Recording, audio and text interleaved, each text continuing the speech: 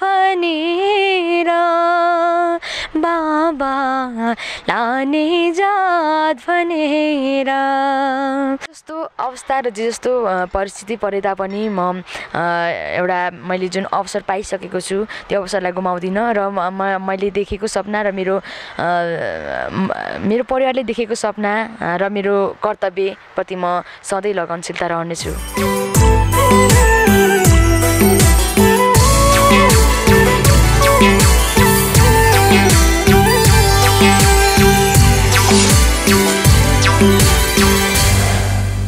नमस्कार दर्शकवृन्द यहाँहरू हेर्दै हुनुहुन्छ जेरुङ्स फिल्म टिभी र साथमा आइसकेको छु यहाँहरूकै अन्य मित्र म राजकुमार राई।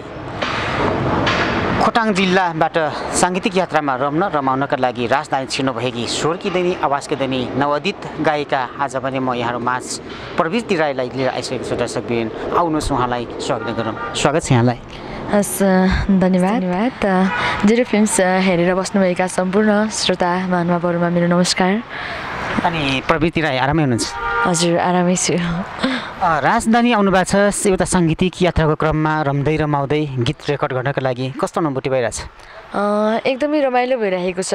चाहिँ पहिलो गीत रेकर्डिङको लागि आइरहेको छौँ अनि चाहिँ स्टुडियोको अनुभवहरू चाहिँ लिइरहेको छु नयाँ नयाँ अनुभवहरू। एकदमै रमाइलो भइरहेको छ दाइ।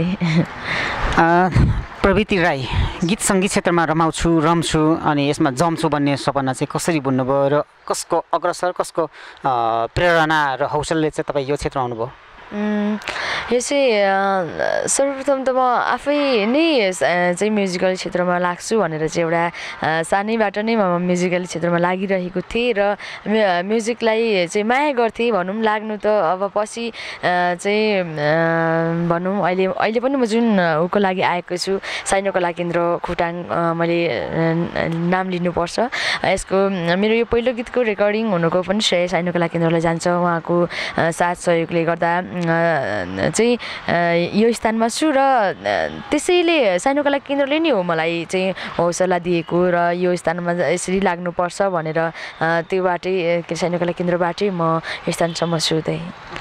साइनो कला केन्द्र यहाँले भन्नुभएको छ यो साइनो कला केन्द्र चाहिँ के यो गीत सङ्गीत उत्पादन गराउने अथवा यसलाई सङ्गीत सिकाउने के कस्तो खालको यो चाहिँ संस्था यो पनि हल्का भनिदिनुहोस् न। हजुर यो चाहिँ खोटाङ जिल्ला अ, मा चाहिँ सङ्गीत विद्यालय छैन। यस कारणले चाहिँ दाईहरूले अ, खोटाङमा कतिपय खोटाङका कलाकारहरू चाहिँ धेरै प्रतिभा भएको कलाकारहरूले पनि चाहिँ आफ्नो प्रतिभालाई चाहिँ अगाडि प्रस्तुत गर्ने अवसर नपाइरहेको अवस्थामा चाहिँ साइनो कला केन्द्र एउटा सङ्गीत विद्यालय खोल्नु भएको छ आदरणीय दाई प्रमोद श्रेष्ठ दाई त्यसै गरी भक्त विश्वकर्मा दाई अनि उहाँ चाहिँ प्रशिक्षक पनि हुनुहुन्छ मेरो गुरु पनि हुनुहुन्छ उहाँ। अनि त्यसै गरी युनिक साङपाङ राई सौधन राई उहाँ दाई अनि शिवचन्द्र दाई कुसुम आचार्य दिदी उहाँहरू पाँचजना दिदीहरूले चाहिँ एउटा संस्था खोल्नु भएको छ र त्यही संस्थाको समक्ष भनौँ गर्दा म यो स्थानसम्म छु। हामी यतिखेर साइनो कला केन्द्र सँगसँगै हामी यो कलाकारिता क्षेत्रको कुरा गर्दैछौँ अनि गायिका अनि स्वरकी दैनी आवाजकी दैनी हामी अ, प्रवृत्ति राईसँग कुराकानी जोडिरहेका छौँ। यो भनिरहँदाखेरि दर्शकहरूले आवाजकी दैनी स्वरकी दैनी गायकको आवाज कस्तो होला? र राजधानी छिर्नु भएको छ। कस्तो गीत रेकर्ड गर्नुभयो? भन्ने पनि जिज्ञासा होला। तपाईँले अहिले लेटेस्ट भर्खरै मात्र आएर गीत रेकर्ड गर्नुभएको त्यो गीत दर्शकहरूलाई सुनाइदिनुहोस् न। हजुर। हस् थ्याङ्क यू दाई।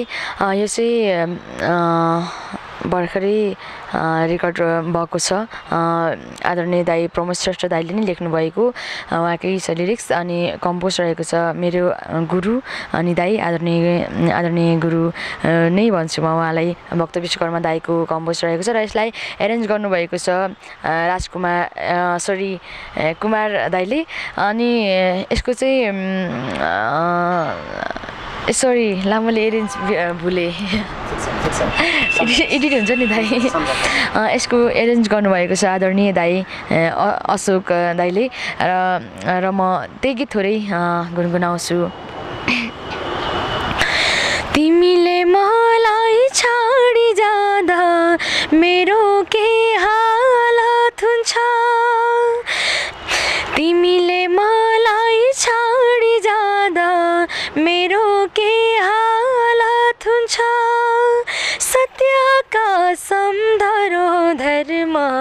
म त मरे पनि हुन्छ।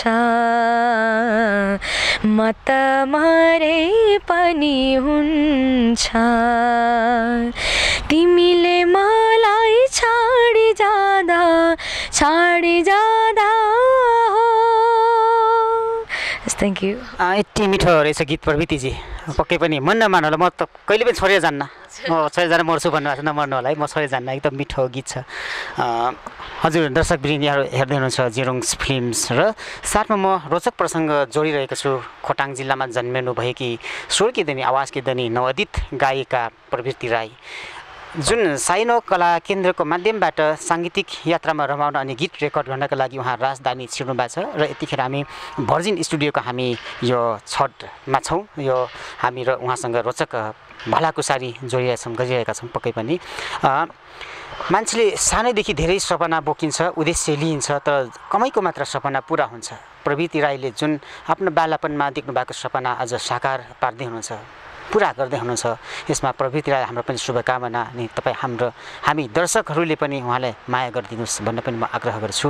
पक्कै पनि पूर्वी नेपालको एकदमै विकट ठाउँ खोटाङ जिल्लामा जन्मेर पनि स्वर किदनी आवाज किदनी यतिखेर प्रवृत्ति राईले आवाज भर्खरै मात्र रेकर्ड गर्नुभएको रहेछ। मिठो छ भाका र सुनाइ पनि सक्नु भएको छ। अझै पनि उहाँको बाँकी नै छ। साइनो कला केन्द्रको ब्यानर गीत रेकर्ड गर्नुभएको रहेछ।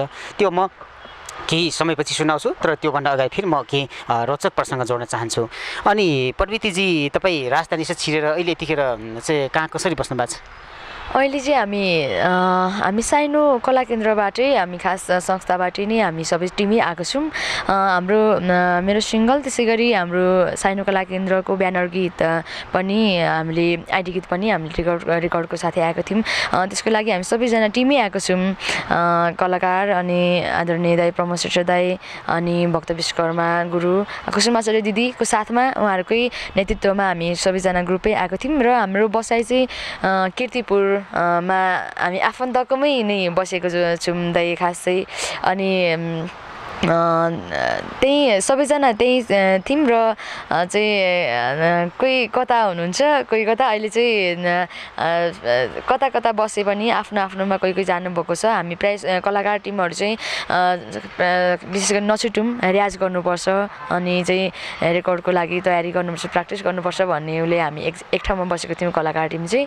अनि त्यसरी नै हामी चाहिँ अरूमा अरू पनि दाईहरू पनि फाल्टु बस्नु भए तापनि हाम्रो यात्रा सँगसँगै अनि चाहिँ गर्ने हामीले कामहरू एउटै भएको कारणले हामी दिउँसो चाहिँ हामी राति मात्रै फरक भए पनि हामी दिउँसो एकै ठाउँ नै हुन्छौँ हुन्छौँ प्रायः। तपाईँको काम चाहिँ के छ? सकेको अवस्था अथवा भइरहेको अवस्था के छ? अहिले चाहिँ हाम्रो गीत रेकर्डिङ चाहिँ सकिसकेको छ। हाम्रो ब्यानर गीत पहिलो भयो। ब्यानर गीतको हाम्रो सकिसक्यो। अनि मेरो सिङ्गल पनि रेकर्ड भइसकेको छ। अहिले मिक्सिङ भइरहेको छ तल। अँ, त्यो छ दाइ अनि काम पनि सके सँगसँगै राजधानीलाई विदाय गर्दै तपाईँको जन्मथलो फर्किने सोच कहिले बनाउनु भएको छ? कतिखेर?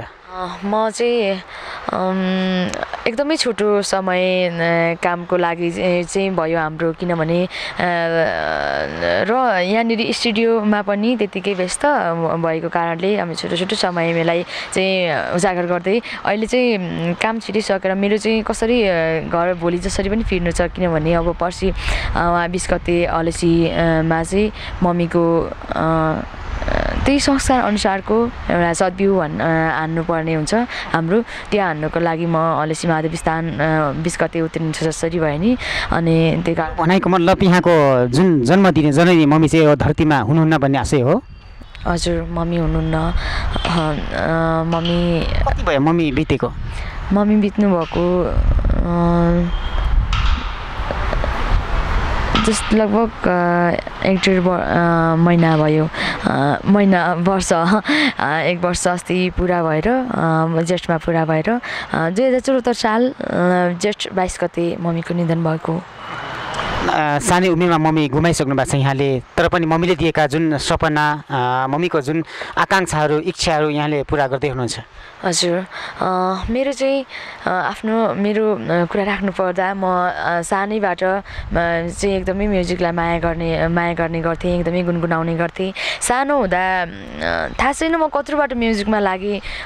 म थाहा पाउँदादेखि अहिले दिदीहरूले म चाहिँ मम्मी त हुनुहुन्न मम्मी हुँदाखेरि मम्मीहरूले कुरा गर्नुहुँदा म सानो हुँदा नै पनि चाहिँ ठुलो कराएर गीत गाउँथेँ अरे अनि चाहिँ गीत सङ्गीतलाई एकदमै माया गर्ने गीत सङ्गीतप्रति एकदमै ध्यान केन्द्रित गराउँथेँ। अनि सानैबाट गीत गाउने ओर्ने गर्थेँ अनि प्रोग्रामहरूमा भाग लिने गाउने त्यो मेरो सानोबाट नै थियो।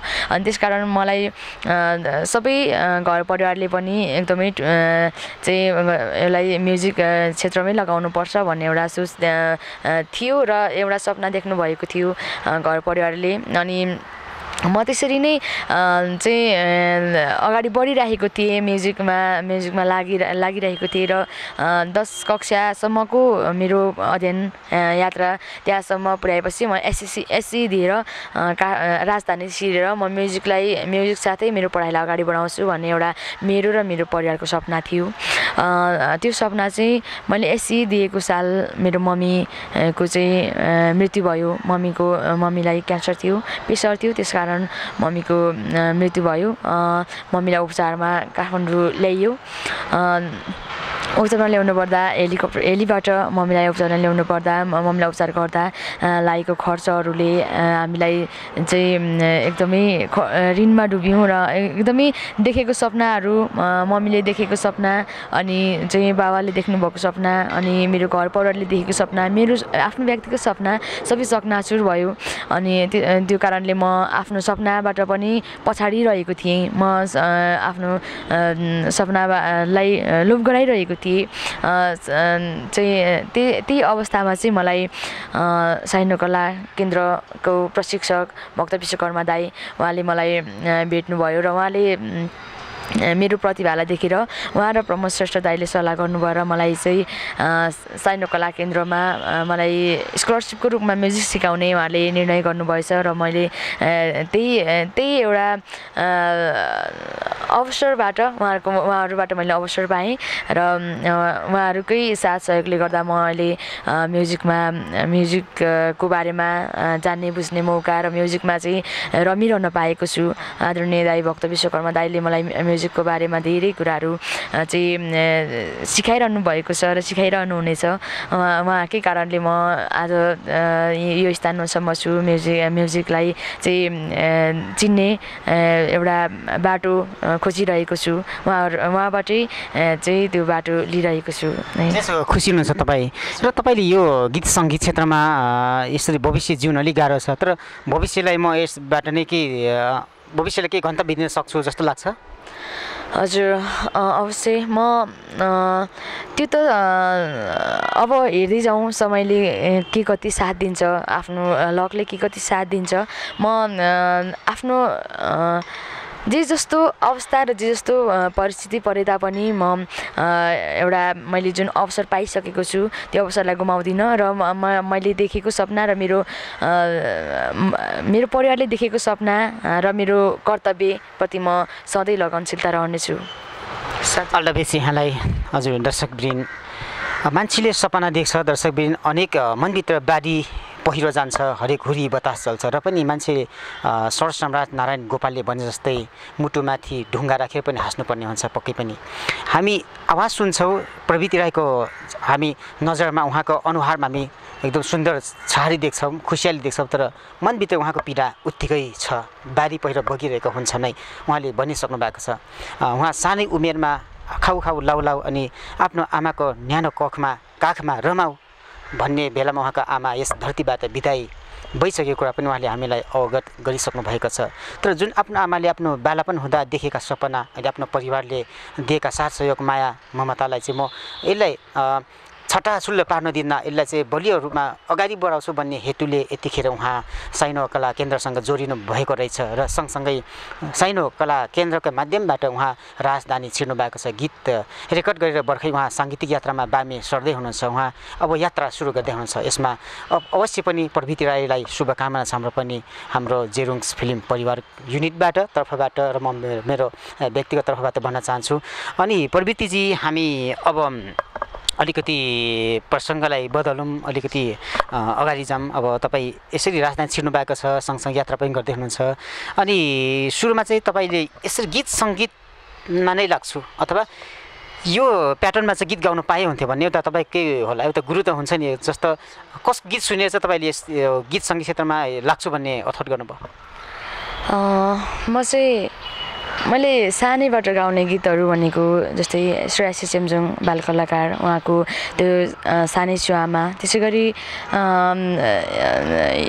त्यो एकदमै बढी गाउने नाइना मोहन टु चलचित्र नेपालमा चलेको एकदमै श्रेयासी चेम्जोङको बाल गायक हामी उहाँको नाम पनि लियो र उहाँको गीत भन्दाखेरि सबैको मुखमा जुन्टिन्छ नै पक्कै पनि। होइन श्रेयासी चेम्जोङको आवाजमा सजिएको एउटा गीत सानै छामा नै गाइदिनुहोस् न दर्शकहरूको लागि। हुन्छ हस् थ्याङ्क यू एकदमै मलाई मनपर्ने मेरो फेभरेट गायिका श्रेयासी चेम्जुङ दिदी उहाँले गाउनुभएको गीत सानै सामा एकदमै राम्रो अनि मलाई मनपर्छ सायद मलाई त्यसैमा मेल खानु थियो रहेछ र म मम्मी हुँदा पनि मम्मीलाई मैले गाएको गीतहरू मध्ये सबैभन्दा मनपर्ने यो र मर्ने कसैलाई रहर हुँदैन र सानै सुआमा मलाई मम्मीले पटक पटक चाहिँ गाउन लाउनुहुन्थ्यो सानै सुआमा अनि मर्ने कसैलाई रहर हुँदैन। सायद उहाँकै सम्झनामा म श्रेसी च्याम्चुङ दिदीको गीत गुनगुनाउँछु। सानै छु आमा म छोरी आज पराई घर जाँदिन। सानै छु आमा म छोरी आज पराई घर जाँदिन सानै छन् हात कालिला नुङ्रा म खिउन सक्दिन? आमा म खिउन सक्दिन? कन्यादान दियो पुण्य बाबा छोरीलाई मारेर। कन्यादान दियो पुण्य बाबा छोरीलाई मारेर। आखिर छोरी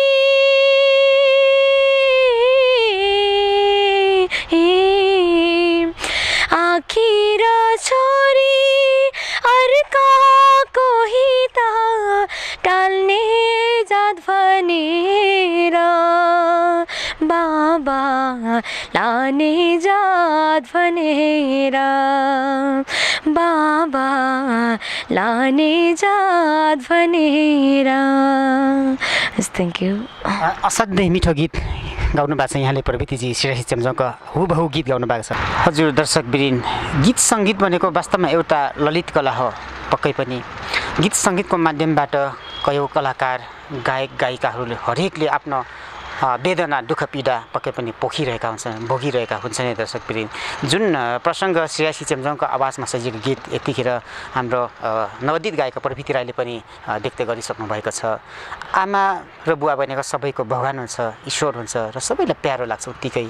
तर दुर्भाग्यवश नवोदित गायिका स्वर कि आवाज कि हाम्रो प्रवृत्ति राईको पनि हुनुहुन्न रहेछ जुन कुरा उहाँले व्यक्त गरिसक्नु भएको छ। गीत अति मिठो छ। प्रवृत्तिजी साँच्चीकै एकदम मिठो गीत नै मिठो गायिकाको आवाजको गीतै रोजेर यहाँ अगाडि बढ्नुभएको रहेछ। यहाँलाई अल द बेस्ट यहाँको साङ्गीतिक यात्रा शुभ रहोस्। यहाँलाई शुभकामना छ। र अहिलेसम्म हामीले व्यावहारिक कुरा गऱ्यौँ। दुःख पीडा अनेक कुरा गऱ्यौँ। अलिकति रोचङ्गतर्फ जाऊँ न हामी। प्रवृत्ति राई यतिखेर यति हँसिलो यति राम्रो चिटिक्क परेकी हँसिली। देख्छु। अनि प्रवृत्ति रहेको के छ? भावी योजना। अनि त्यो पनि सुनाइदिनुहोस् न। हस् थ्याङ्क यू दाई। भावी योजना त्यही हो कलाकारिता क्षेत्रमा लाग्ने चाहिँ एउटा हो र साथै पढाइलाई पनि एकदमै फोकस गर्ने अनि म्युजिक साथसाथै पढाइलाई पनि फोकस गरेर अगाडि बढ्ने र सबैभन्दा ठुलो सपना म आफ्नो कसरी हुन्छ म मेरो यदि म कलाकारिता क्षेत्रमा सफल भइनँ भने म कलिका कलाकारिता क्षेत्रलाई चाहिँ अधुरै यसरी मैले छोडेँ भने मेरो मम्मीको आत्माले शान्ति पाउँदैन। मेरो मम्मीको एकदमै ठुलो सपना मम्मीले चाहिँ मलाई एउटा असल गायिका बनाउने एकदमै ठुलो सपना। र म बाँचिन्जेल म रहन्जेल जतिसम्म बाँच्छु चाहिँ म मम्मीको सपनाकै लागि नै म सधैँ निरन्तर खटिरहनेछु। एकदमै मेरो त्यो नै हुन्छ। साथै मेरो त्यही हो दाइ म म्युजिकलै फिल्डमै कलाकारिता क्षेत्रमै केही गर्छु भन्ने एउटा आशा आशा छ। अब कसरी हुन्छ मैले चाहिँ अवसर त्यति ठुल्ठुलो अवसर पाइनँ छु भने पनि म आफ्नो ठाउँबाट जुन मैले गरिराखेको जुन बाटोलाई एउटा जुन बाटो सम्हालेको छु त्यही बाटोलाई जसरी हुन्छ घोटेर कतिसम्म हिँड्न सक्छु त्यतिसम्म म यात्रा गर्छु दाइ। अनि प्रवृत्ति राई यति राम्री सुन्दरी हुनुहुन्छ। म्यारी हुनुहुन्छ कि अनम्यारिड हुनुहुन्छ? अनम्यारिड कसैलाई भन् त भन्नु पऱ्यो। हजुर। के छ? प्रवृत्ति राईको जीवन सङ्गिनी चाहिँ कहिलेतिर के छ? सोच बनाएको चाहिँ छैन। त्यो त त्यस्तो चाहिँ अब थाहै छैन दाइ त्यो चाहिँ कहिले हुन्छ के हुन्छ? अब त्यही त मैले भने अब म मेरो मेरो भविष्य उज्जवल छ त मेरो मम्मीको सपनाबाट छ। छैन त छैन। म मैले त्यस्तो म्यारिड अनि लभ सफ त्यस्तो सोच्ने मैले अहिलेसम्म केही पनि गरेको छैन र त्यो छैन। छैन एकदमै छैन त्यो चाहिँ म मैले भने नि म आफ्नो चाहिँ उमै लगनशील रहनेछु सधैँ अनि जबसम्म म सफल हुँदिनँ जबसम्म म आफ्नो चाहिँ कर्तव्यलाई त्यही बाटोमै म सधैँ हुनेछु। यदि तपाईँको जीवनमा कोही आउनु चाहेको अथवा आएको खण्डमा चाहिँ कस्तो खालको आइडिया होस् भन्न चाहन्छ? आफ्नो फिल्डसँग मिल्ने अथवा आफ्नो फिल्डभन्दा बाहिरको व्यक्ति हुन्थ्यो भन्न चाहन्छ। कस्तो चाहनुहुन्छ? यस्तो यस्तो बारेमा चाहिँ फेरि मलाई इन्टरभ्यू दिनै आउँदैन। अब त्यो चाहिँ कस्तो हुन्छ भने वे कोही आइदियो भने कोही आइदियो भने। अब जसले पनि सो सोचेको त हुन त सबैको सोच एउटै हुँदैन। त्यही पनि मान्छेले सोचेको हुन्छ आफ्नो सो आफूलाई चाहिँ सो आफ्नो जुन सोच हुन्छ त्यही खालको मान्छे चाहिँ भेट्न पाए हुन्थ्यो भन्ने त त्यो सबैको सोचमा सबैमा हुने त्यो प्रकृति गुण नै हो। माया गर्ने बुझ्ने अनि चाहिँ के अरे दुःख चाहिँ एकदमै बढी बुझ्ने किनभने म दुःखबाटै खेलेर हुर्केर चाहिँ यो स्थानसम्म छु र म बाँचिन्जेलसम्म नै पनि म दुःखकै चाहिँ दुःख नै हो मेरो साथी। हुन त सबैको साथी दुःख नै भनिन्छ तर पनि मेरो एकदमै आत्मीय साथी पनि मेरो दुःख नै हो। तर म सधैँ खुसी भएर हाँसेर चाहिँ बाँच्न चाहन्छु किनभने मेरो कल्पनाभित्रको सपना। म एउटा खुसी भएर हाँसेर हिँडेँ भने सबै सामु खुसी भएर चाहिँ सधैँ उज्यालो मुहार बनाएर हिँडेँ भने मेरो मम्मी पनि खुसी हुनुहुन्छ। म त्यो सधैँ त्यो कल्पना गरिरहेको हुन्छु र म कहिले पनि मलाई दुःखी हुन मन मन पर्दैन र म दुःखी कहिले पनि हुँदिनँ। तर जति हुन्छ मनभित्रको दुःख त सधैँ साथी छँदै नै छ। त्यही हो। कस्तो साथी हुने भन्दा चाहिँ अब नै हजुर जस्तो यो विवाहको पनि मैले सुनेर छ अथवा अध्ययन पनि गरेको छु यो तिन प्रकारको विवाह हुन्छ के प्रवृत्तिजी माघी विवाह चोरी विवाह अनि प्रेम विवाह। त्यो तिनवटा मध्ये कुन चाहिँ विवाह तपाईँ मन पराउनुहुन्छ कस्तो प्रश्न। म चाहिँ अब कस्तोलाई रोज्ने अब माघी विवाह पनि एक प्रकारको होइन माघी चोरी चाहिँ प्रेम विवाह। अब त्यो चाहिँ गर्नेहरूमै भर पर्छ होला। कस्तो कस्तो गरी चाहिँ उनीहरूले चाहिँ गरेको हुन्छ होइन? गर्ने कसैले अब प्रेम गरेर चाहिँ हरेक आफ्नो आफ्नो बाध्यता हुन्छ। आफ्नो आफ्नो अब मैले अहिले यहाँ माघी विवाह नै गर्नुपर्छ भन्ने नि हुँदैन। चाहिँ अहिले यहाँ एकजनाले। अनि प्रेम विवाह नै हुनुपर्छ भन्ने पनि हुँदैन। चाहिँ माघी माघी विवाह भनेको अब संस्कारमा गरिँदै आएको अ, चलन हो। माघी विवाह चाहिँ पहिलाको रीतिरिवाजमा चाहिँ मागेर गर्ने विवाह। प्रेम विवाह चोरी विवाह तिनीहरू गर्ने चलनहरू पछि त्यस्तै बाध्यताहरूले नै बनायो होला सायदै र त्योहरू आयो। रच्नु पऱ्यो चाहिँ कुन कुनलाई रच्नुहुन्छ रोज्नु रोज्नु परे म चाहिँ अलिकति गर्दै आएको चलन भएकोले चाहिँ माघी माघी विवाह नै ठिक होला जस्तो लाग्छ। हिसाबले प्रविधि माग्नु आओस् भन्न चाहनुहुन्छ? हजुर त्यही नै। जति माग्नु आउँदाखेरि केटा न त देखेको हुन्छ न त बुझेको हुन्छ कस्तो आफूलाई फिलिङ हुन्छ होला आफ्नो अनुभव। यदि गर्नु पऱ्यो भने त्यो कल्पना होला नि यहाँको भन्नु एउटा कल्पनाकै देखाउनुहोस् त। हजुर त्यो त अब यस्तो हुन्छ नि माघी विवाह गर्नु माग्नु जस्तै आयो भने पनि एउटा एकजना मान्छे होइन